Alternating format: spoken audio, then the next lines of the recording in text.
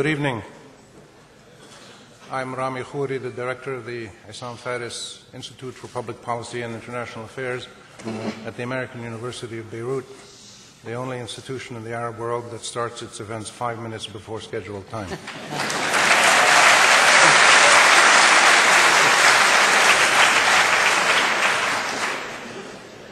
and we do that so we can give our honored speaker five extra minutes of speaking time.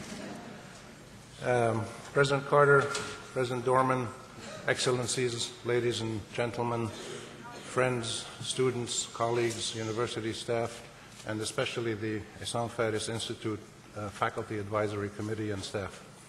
Thank you all for coming out here tonight on this very special occasion, uh, which is the inaugural official opening of the Bill and Sally Hambrecht Distinguished Peacemakers Lecture Series at the American University of Beirut under the auspices of the Issam Fares Institute for Public Policy and International Affairs.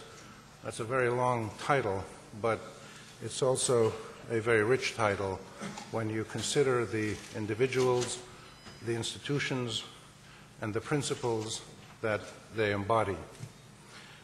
Uh, Distinguished Peacemakers is a title that we gave to this lecture series that Bill and Sally Hambrecht funded uh, for us because we thought it was important to bring to AUB in Beirut and the Middle East a series of 10 experienced mediators in political conflicts all around the world who have real world experience, who can share with us uh, the lessons of that mediation, and to interact with the community here at AUB and Beirut.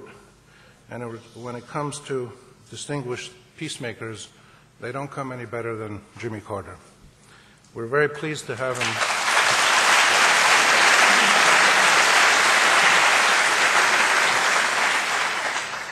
The name, the title Peacemaker, of course, comes from the holy books. All of the holy books talk of making peace and reconciliation. But peace is also a word that Arabs and Muslims use every day, at least 10 or 20 or 30 times.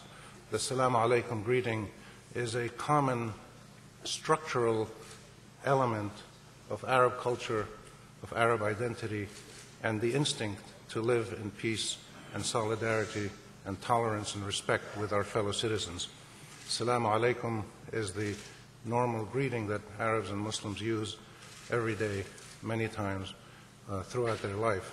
So peace is, is, a, is, a, is a concept that is not only dear to us as citizens and as nationals, but is also structurally embedded uh, in our social niceties and our human day to day, minute to minute exchanges. But we have a special convergence here of individuals, of institutions, and of values.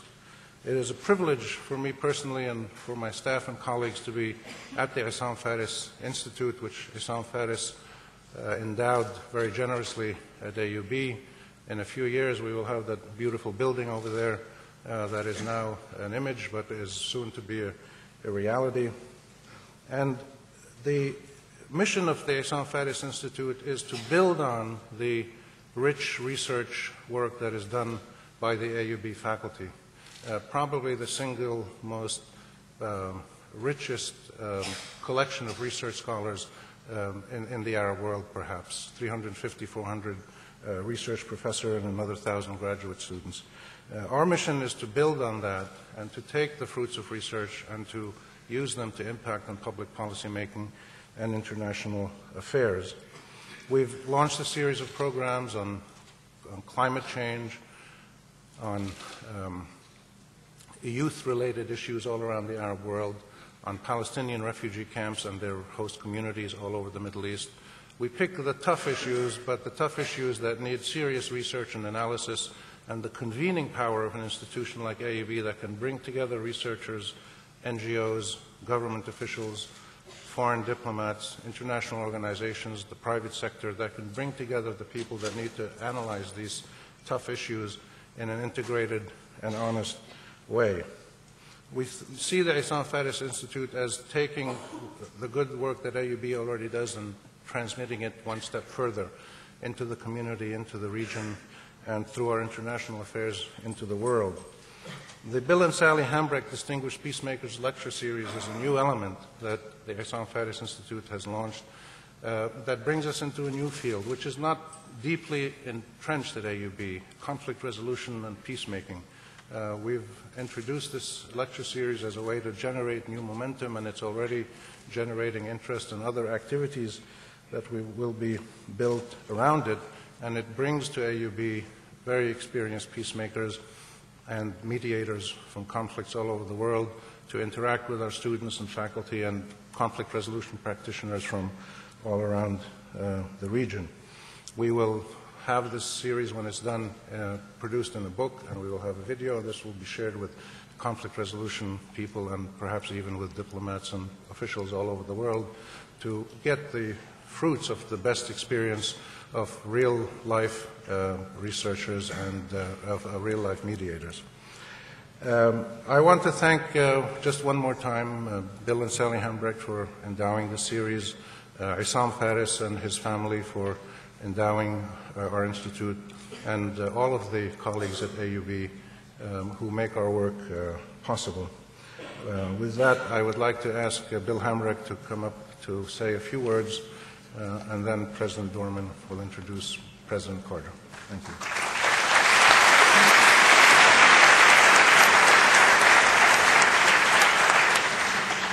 Thank you, Rami.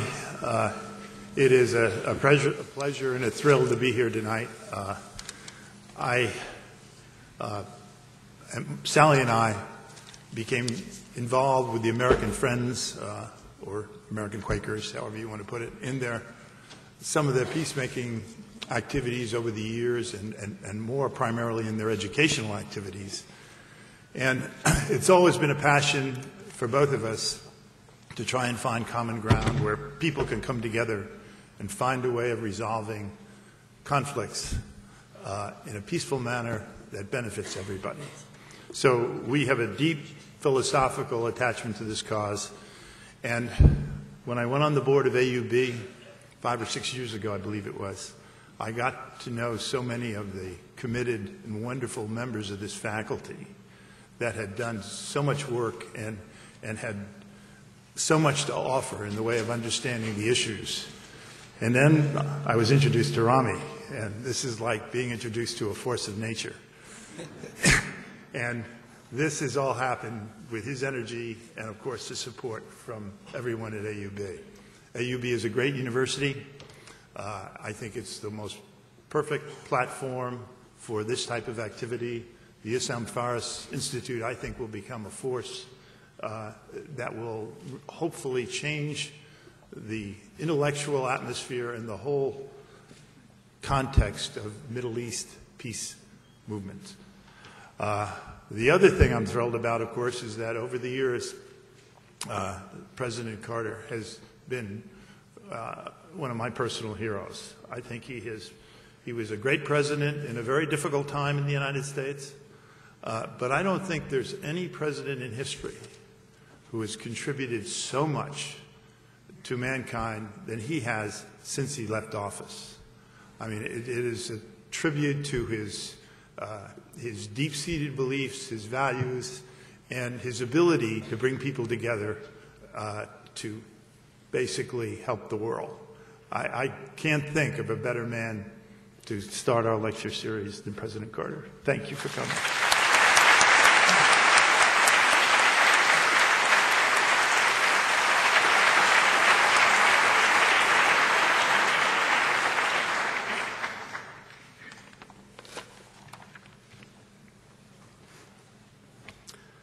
President Carter, distinguished guests, ladies and gentlemen,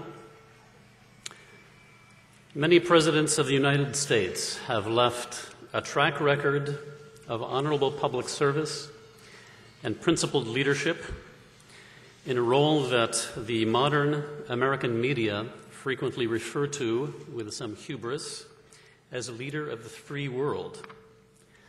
In our generation, however, only Jimmy Carter has pioneered a mission and crafted a legacy that has lasted far beyond the years he actually served in that high office. The universal esteem in which he is held across the globe reflects the depth and the consistency of his emphasis on moral values as the foundation for political conduct at home and abroad. Mr. Carter assumed the American presidency just over 30 years ago with his hallmark smile and a powerful commitment to human rights as the defining driver of American foreign policy.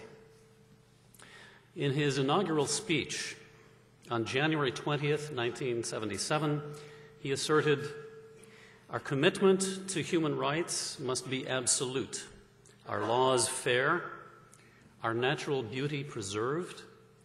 The powerful must not persecute the weak, and human dignity must be enhanced. And doubtless many of you read just two days ago in a column in the Washington Post where Mr. Carter wrote The advancement of human rights and democracy is necessary for global stability and can be achieved only through the local, often heroic efforts of individuals who speak out against injustice and oppression. Endeavor is the United States should lead not impede. As surely as there is heroism in local activism for human dignity, President Carter, there is also an inspiring valor in the abiding moral and political leadership you and a handful of other prominent men and women around the world provide by the example of the commitments you have made in your life. Your presence at the American University of Beirut has deep significance for us. For over 140 years, AUB has been dedicated to a quest founded on the values that you embrace.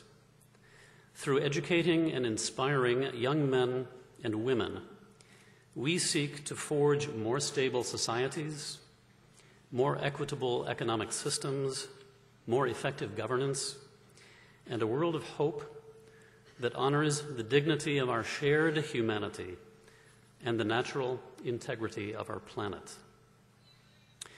So, ladies and gentlemen, it is a distinct honor to introduce to you this evening a man with a unique resume.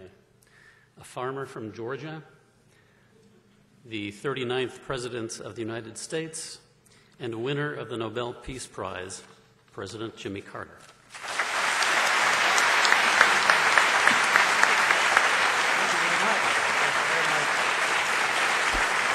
Thank you.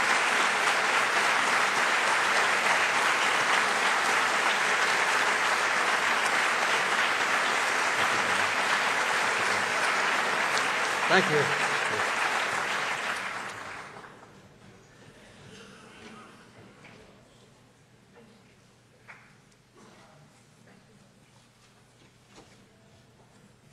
Well, let me say, first of all, I really thoroughly enjoyed that introduction.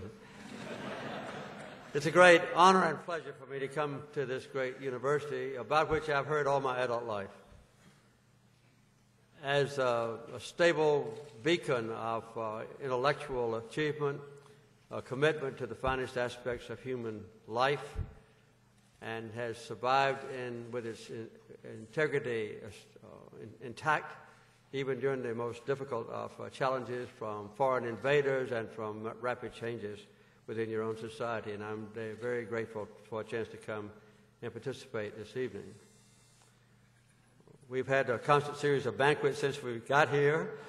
Uh, all have been uh, blessed with delicious Lebanese food. Uh, last night I was, attended a banquet with the Prime Minister, and, and I started my response to his extensive toast uh, by saying that uh, one of my favorite cartoons was in the New York Times this past, uh, it was in the New Yorker magazine this past year. It's a little boy looking up at his father, and he says, Daddy, when I grow up, I want to be a former president. well, you can see why tonight because I have this honor to come here and, and visit around. Well, after I was involuntarily retired from the White House in 1980, the results of election when, when uh, Ronald Reagan won, I've had a good chance of being uh, involved in the academic world. I'm now in my 27th year as a so-called distinguished professor at Emory University uh, in Atlanta, Georgia. And every September for 27 times, I've begun my years teaching or lecturing by having um, a town meeting with about 3,500 uh, students who spend a full hour asking me any question they want to ask. I never know what to expect. Uh, I'm almost always, I started to say disappointed. I'm almost always titillated. And uh, this has been a wonderful possibility for me to stay involved in the academic life of my country. I also have four children of my own. I have uh, 11 grandchildren, and I have one and almost two great grandchildren. My second one will be born uh, in just a few days. So I have a very good life at home. We still live in the same village where my wife and I were born. We've owned the same land that I still cultivate uh, since 1833. So you might say that my wife and I have not gotten anywhere in life. We, we're still where we started off. As a matter of fact, when I was four years old, I lived next door to my future wife, who was then one year old. So we've been very close together, and, and we've uh, just passed our 62nd uh, wedding anniversary. So we still.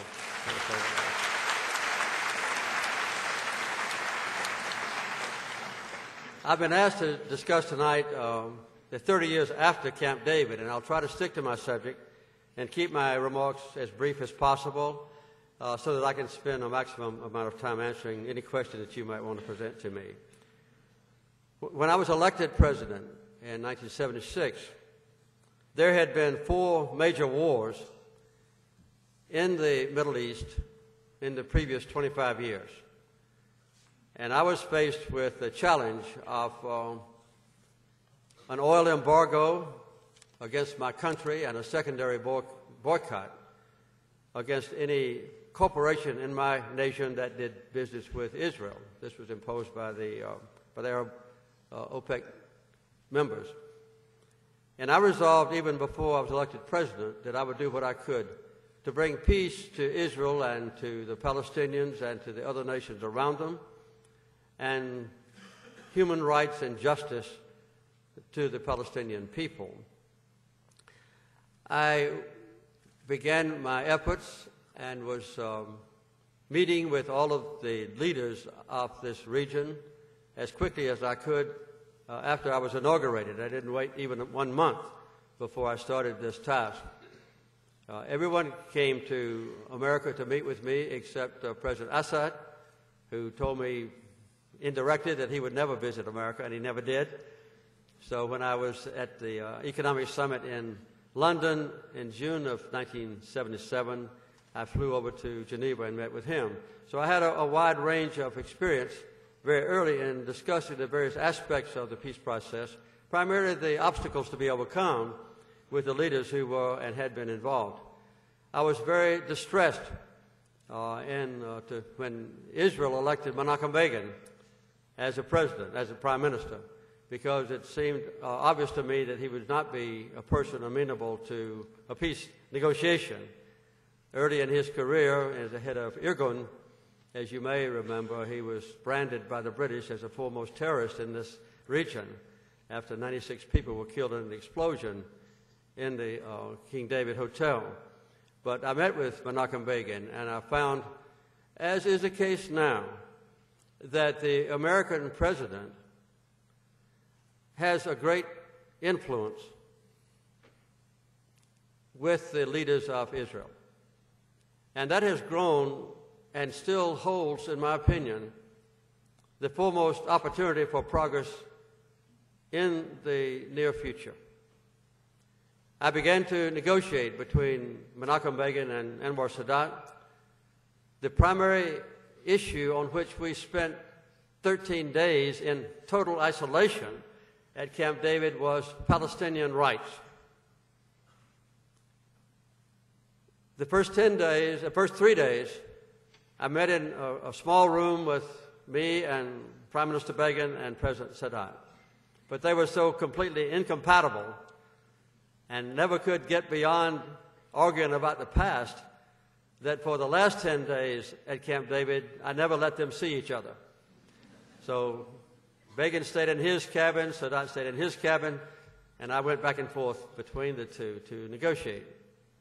We got to the final day, I'll be brief about this, and uh, we thought we had failed because there was an insuperable difference between them. Sadat was quite flexible, that we had to have a complete commitment to the, Uh, to the Palestinian rights, and also all Israeli settlers had to be removed from Egyptian territory. On the other hand, Prime Minister Begin had taken an oath before God that he would never dismantle an Israeli settlement. That seemed to be an impossibility to resolve. And in the last day, Begin and Sadat and I were packing to go back to Washington in defeat. And Begin asked me if I would sign some photographs of me and Begin and, uh, and Sadat for his grandchildren. My secretary discovered by calling Israel the names of his grandchildren. Instead of signing just best wishes, I signed best wishes to, and I wrote the name of each of his grandchildren and took them over to his cabin. He was quite angry with me at that time, and he said, Thank you, Mr. President. He was very proper, and he turned around and he began to read the names of his grandchildren, one by one. And tears ran down his cheeks, and mine because he realized that if we didn't succeed, that his grandchildren would face sustained conflict. I went back to my cabin, and in a few moments, his assistant, who later was a Chief Justice of the Supreme Court, came and said, Let's try one more time. And we did. So, why, the way we resolved it was that Begin withdrew himself from the decision concerning the settlement and let the Israeli parliament, the Knesset, make the decision. And they voted 85% to dismantle the settlement. They also voted overwhelmingly for the commitments that Begin had made concerning the Palestinians, that they would have full autonomy, and that all Israeli military and political forces would be withdrawn from the West Bank and Gaza. That was the agreement. We had another aspect that was negotiated six months later, and that was a treaty of, a treaty of peace between Israel and Egypt. That was in April of 79. And in just a few months, it'll be 30 years. Not a word that peace treaty has been violated. But the Palestinian rights have not been honored. Almost steadily since that time, the Palestinians living in the West Bank and Gaza have seen their basic human rights lost step by step. Well, where do we go from here? We have uh, seen some faltering efforts. Uh, I would say that uh, President Bill Clinton made an all out effort by going back to Camp David but it was in the last year of his term, instead of beginning at the initiation when his prestige and influence was greatest. And as you may or may not know, uh, we had the same situation with George W. Bush, who for six years did not orchestrate one single day of negotiation. It was at that time that I decided to write a book about Palestine based on, I would say, intimate knowledge, as much as any outsider could accrue, of the life of the Palestinians under Israeli occupation. They have held three elections one when the Palestinian Authority was established with 88 members of their so called parliament, and uh, Arafat was elected president. The Carter Center monitored that election. The second one was after Arafat's death for the election of Abu Mazen. And the third one was a year later when a new Palestinian Authority was elected with uh, Hamas participating for the first time in the national election. And Hamas won that election uh, in a completely open, honest, fair contest. I might say that the Carter Center has just completed our 73rd election in the world in Ghana this past weekend. But among those 73 elections, I would say the most perfect three were the ones conducted by the Palestinians. Because the Palestinian Election Authority, who supervise all aspects of the election, are distinguished uh, leaders who have been former uh, judges and former college presidents and whose reputations are beyond question. Well, that election's results were aborted. I stayed there for a day or two after the election because I had heard that Abu Mazen was going to resign since he, his party, the Fatah, lost the election. But I talked to him and I talked to some of the Hamas elected parliamentarians in Ramallah, and, um, and he decided to stay on as the president.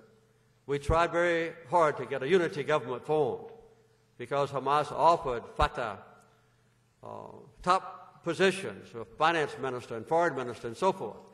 But the decision was ultimately made, I think it was a serious mistake, that there would not be uh, honored the results of the election. Since then, you have seen the deterioration of the Palestinian unity, so that now, in effect, uh, Hamas controls Gaza and Fatah uh, controls the West Bank. And this has meant that we are now in something of a stalemate. Well, in fact, not something of, we are in a stalemate between the uh, two. In the meantime, the Israelis have not uh, been willing to uh, negotiate in, in, good faith with the Palestinians as far as the results have uh, seemed. Uh, and uh, we have been trying very hard to do something about it from a very small perspective, that is the Carter Center.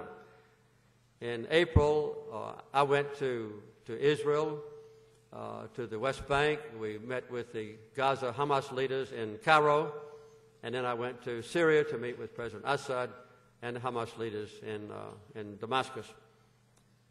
That was uh, a, a good learning experience for me uh, it, you may be interested in knowing that while we were in Jerusalem, we met with the leaders of peace organizations in Israel, all Israelis.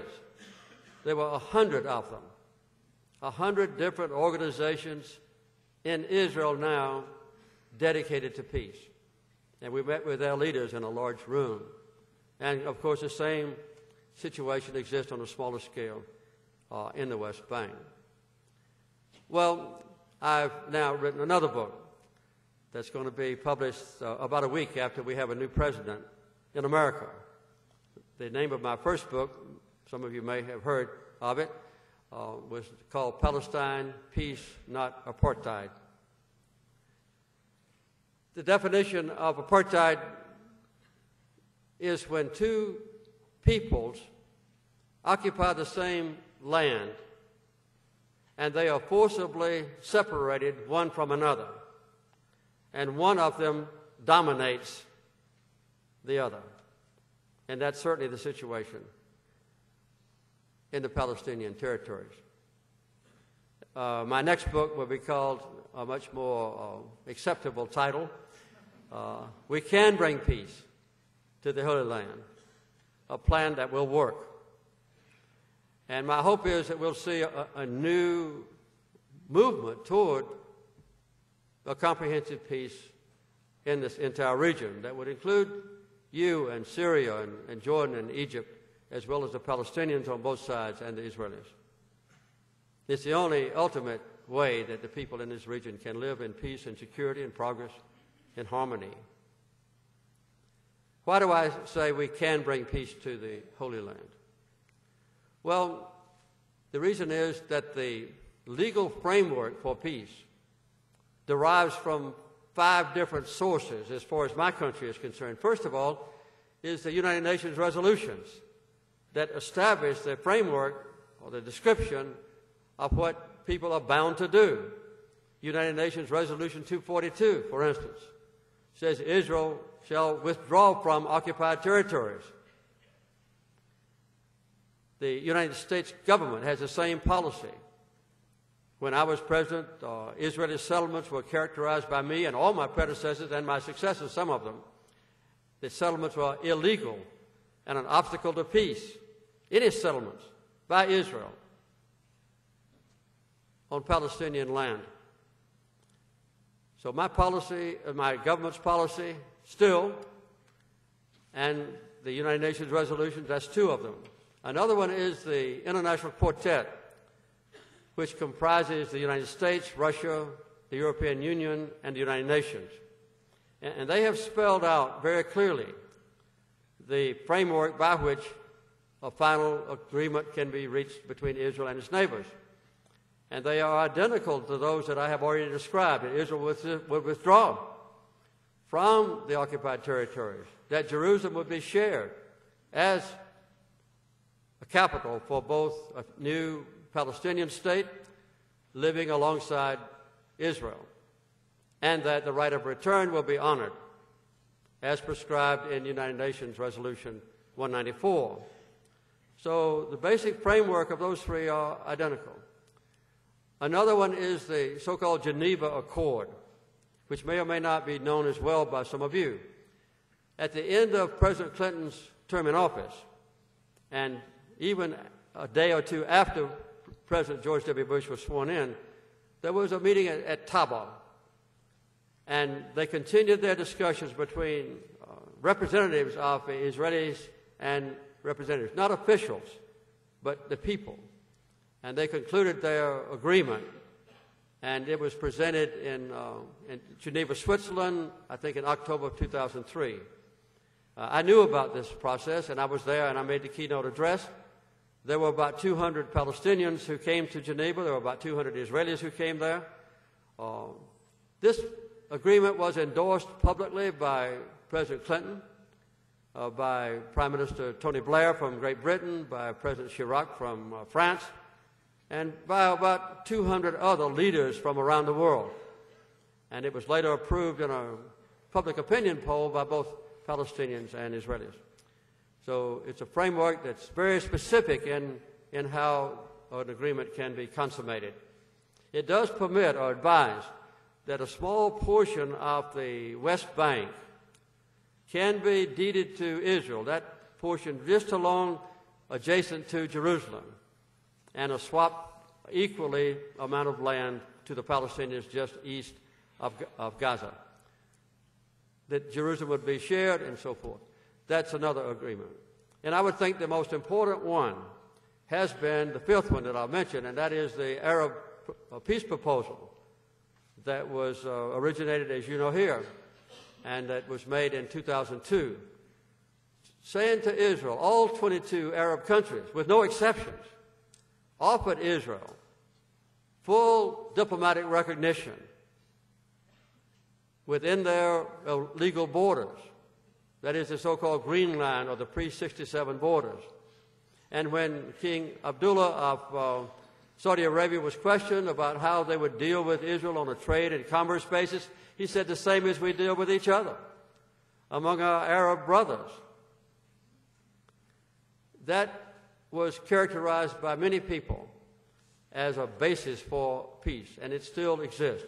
So all of the legal frameworks are identical, but they all are predicated on Israel's willingness to negotiate in good faith with the Palestinian leaders, now Abu Mazen, and to reach a conclusion that's compatible with Israel's withdrawing from occupied territories. What is the big unknown? I would say at this moment, it would be the attitude or policy of the next president of the United States. Uh, the United States in the, for the last eight years has been basically aloof from negotiations, with spasmodic visits by the Secretary of State, the Foreign Minister, and so forth.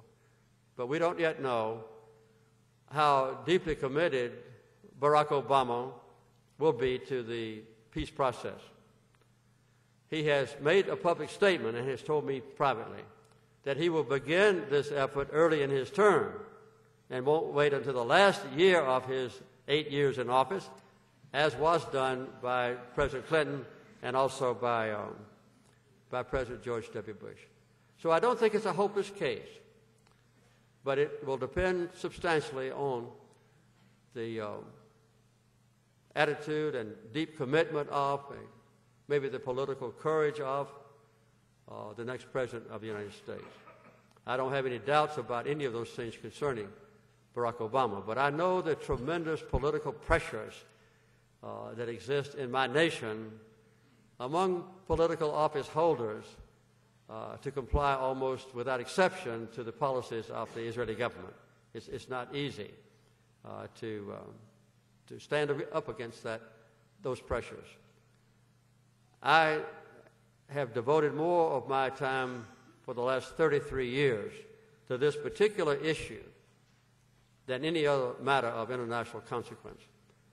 And uh, we'll continue to, to make a, a, small effort as a private citizen ahead of the Carter Center uh, in the future.